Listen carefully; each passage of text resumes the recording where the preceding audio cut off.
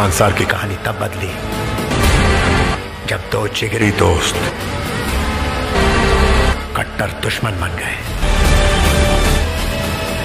तो hello and welcome again दोस्तों। भाई साहब, अब जो है वॉर पूरी बराबरी की हो चुकी है, क्योंकि सालार का ट्रेलर आ चुका है और सॉलिड मतलब जो एक्सपेक्टेशन थी इससे, उससे कहीं आगे निकल कर ये फटा है और ज़बरदस्त तरीके से फटा है। भाई साहब, इस टाइम एक चीज़ बड़ी ही ज़बरदस्त देखने को मिल रही है कि यार जो हेटर्स थे, जो इसको एकदम ट्रॉल कर रहे थे, भाई उनके ना वक्त बदल गया है, जज्बात बदल दिया है। मतलब उन्हें समझ में ही नहीं आ रहा है, क्योंकि अभी जो कहानी चल रही थी, वो पूरा डंकी के फेवर में चल रही थी। यस नो डाउट कि डंकी को अच्छा खासा फेवर मिल रहा था। हिंदी रीजन में तो ज़बरदस्त मिल रहा था। लेकिन जैसे ही कल सालार का ट्रेलर आया है भाई, अब लग रहा है कि मुकाबला जो है बराबरी का है। अब जो लग रहा है कि भाई, एक तरफा तो मामला बिल्कुल नहीं जाने वाला है। क्योंकि सालार के साथ जो प्रॉमिस किया जा रहा था बिगेस्ट ब्लॉकबस्टर ये मूवी निकलेगी।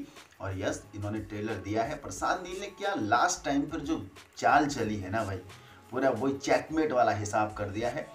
तो समझ में नहीं आ रहा है कि भाई डंकी अब कितना आगे निकलेगी। भाई, बहुत टफ पड़ जाएगा अब इसको बीट डाउन करने के लिए।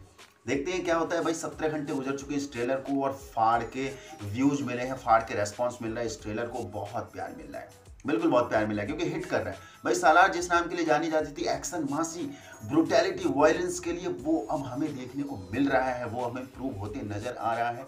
दैट्स वाई कि अब लग रहा है कि यार मूवी को देखनी चाहिए और फ़र्स्ट डे फ़र्स्ट शो ही देखना चाहिए। एडवांस बुकिंग में जो हाल चल रहे हैं, भाई उसके लिए अलग से वीडियो बनाऊँगा, ज़बरदस्त हाल चल रहे हैं। फाड़ के बुकिंग चल रही है, फाड़ के जनता क्या कहते हैं फ़र्स्ट डे फ़र्स्ट शो देखना चाहती है। टोटल व्यूज़ अभी तक मैं बताऊँ तो पहले सत्रह घंटे में तिरपन मिलियन प्लस व्यूज़ पहुँच चुके हैं ऑल लैंग्वेज को मिलाकर। कन्नड़ा, तमिल, मलयालम एंड हिंदी एंड तेलुगू को मिलाकर, जिसमें से तेलुगु को अच्छा खासा रिस्पॉन्स मिला है। लेकिन हाईएस्ट व्यूज़ गेन करे हैं हिंदी लैंग्वेज से। भाई साहब, हिंदी का ना बहुत ही इंपॉर्टेंट रोल रहने वाला है सालार को थाउज़ेंड करोड़ कंप्लीट करने के लिए। लेकिन इस बार प्रशांत नील को हिंदी से कंट्रीब्यूशन में थोड़ा सा भाई साहब नीचे मामला देखने को मिले क्योंकि डंकी ने ना बहुत ही ज़बरदस्त पकड़ बना के रखी है। हिंदी में हाईएस्ट व्यूज़ आए हैं ट्रेलर में 25 मिलियन प्लस के आसपास एंड लाइक्स मिल चुके हैं इस ट्रेलर को, अभी तक 17 घंटे गुजर चुके हैं। लाइक्स 4.8 लाख के लाइक्स मिल चुके हैं। तेलुगु ओरिजिनल लैंग्वेज है, जिसमें कम व्यूज़ आए हैं 15.5 मिलियन प्लस और पहले यही रिलीज़ कराया गया था। हिंदी को इतना ज़्यादा भाव नहीं मिलता है, लेकिन भाई मेकर्स को सोचना चाहिए कि हिंदी से ना बहुत बड़ा कंट्रीब्यूशन आता है तो उसको बिल्कुल बराबरी का दर्जा देना चाहिए। तेलुगु ओरिजिनल लैंग्वेज है, भाई लाइक्स के मामले में तेलुगु का जो ट्रेलर है, फाड़ के लाइक्स मिले हैं seven point one lakh likes मिले हैं। लेकिन वही साहब, हिंदी में ज़्यादा व्यूज़ हैं, लेकिन कम लाइक्स मिले हैं। बात ये सीधी सी सिंपल बात है यार, डंकी का जो क्लैश चल रहा है, डंकी ने जो पकड़ बना के रखी है हिंदी रीजन में, वो ज़बरदस्त बना के रखी है, क्योंकि ट्वेंटी फ़र्स्ट ऑफ़ दिसंबर को पहले डंकी फट जाएगी एंड जब उसके बाद पॉजिटिव रिव्यू मिलेंगे तो कहीं ना कहीं भाई घाटा तो होगा सालार को ट्वेंटी सेकेंड ऑफ़ दिसंबर को, क्योंकि पॉजिटिव रिव्यू मिलेंगे, जनता भाई ट्रस्ट करेगी पहले उसे ही देखना चाहिए। लेकिन सालार ने भी भाई ज़बरदस्त गेम खेला है। ज़बरदस्त बाजी पलटी है लास्ट मोमेंट पर। वैसे ट्रेलर का एक सबसे बेस्ट पार्ट तो पृथ्वीराज और प्रभास की जो जोड़ी दिखाई जा रही है, वो ज़बरदस्त लग रही है भाई। मेरे को तो वो बहुत अच्छी तरीके से हिट करके गया है, क्योंकि वही करण अर्जुन की याद दिला दी यार ये जोड़ी मेमोरेबल रहने वाली है। लाइक पठान और टाइगर की जो जोड़ी आई थी, उसके बाद करण अर्जुन जय वीरू भाई, ये जोड़ी भी याद रखी जाने वाली है। देवा भाई, अपने प्रभास भाई फुल रौद्र रूप में दिख रहे हैं इसमें। तो मुद्दे की बात यह है कि भाई साहब, कहानी क्या हो सकती है?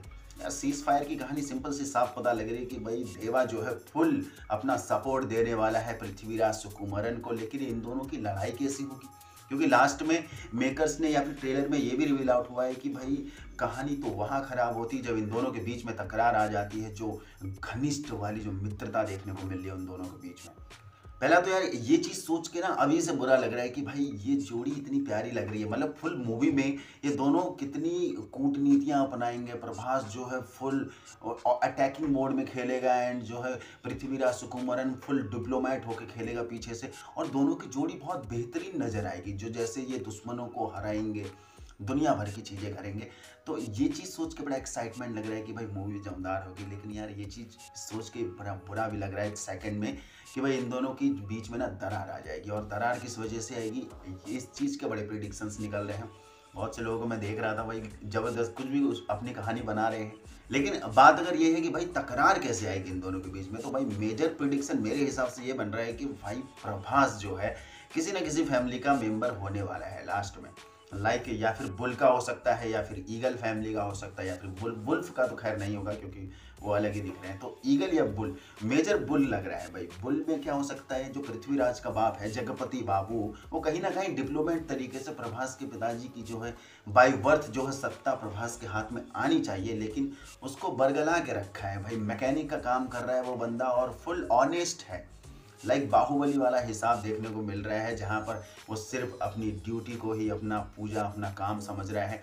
मतलब डिप्लोमेट उतना हिसाब से नहीं लग रहा है, जिस हिसाब से पृथ्वीराज सुकुमरन है। कुछ ना कुछ ज़बरदस्त डिप्लोमेसी होगी, उसकी वजह से यहाँ पर तकरार देखने को मिलेगी। खैर, भाई, मेरा तो यही प्रिडिक्शन है, अगर आप लोगों को भी कुछ ऐसा नज़र आ रहा है, भाई, सलार का जो बिल्कुल फ़ैन है डाई हार्ट फ़ैन जो वेट कर रहे हैं, अगर आपको कुछ लगता है कि यार क्या ही कहानी हो सकती है कि इन दोनों के बीच में तकरार आ गई है तो भाई अपना एक्सपीरियंस ज़रूर शेयर करके जाना। बाकी सालार का ट्रेलर देख के लग रहा है कि भाई ये मूवी फाड़ के जाने वाली है और डेफिनेटली फाड़ के जाने वाली है। थाउज़ेंड करोड़ ईजिली ईजिली इसके खाते में आने वाले हैं।